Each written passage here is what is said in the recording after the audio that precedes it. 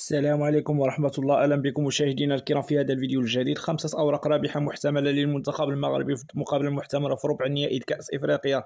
إما الرأس الأخضر أو موريتانيا ولا تأهلنا بطبيعة الحال. اللي غيلتقوا في الستة العشية اليوم بطبيعة الحال في لقاء مشوق.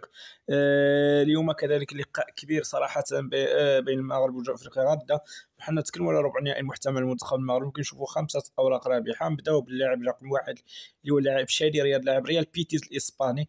اللي باقي ما لعب حتى دقيقة بطبيعة الحال فهاد كأس إفريقيا.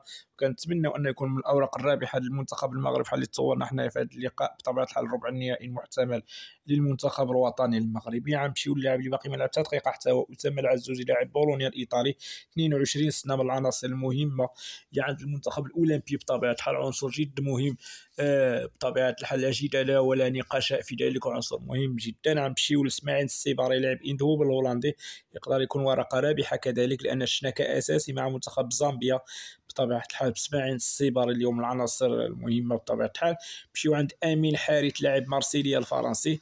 عنصر مهم جدا صراحة ممكن يكون بطبيعة الحال. وشاهدناه في جوج مقابلات من أصل ثلاثة كاحتياطي. ممكن يكون عنده واحد الدور في مقابلة لي ماتش جاين بطبيعة الحال. مشيو عند أيوب الكعبي لاعب أولمبياكوس اليوناني. هادشي اللي كاين. شكرا خوتي على المتابعة ديالكم لهذا الفيديو من الأول إلى الآخر. شكرا جزيلا وإلى اللقاء وإلى فيديو آخر. إن شاء الله.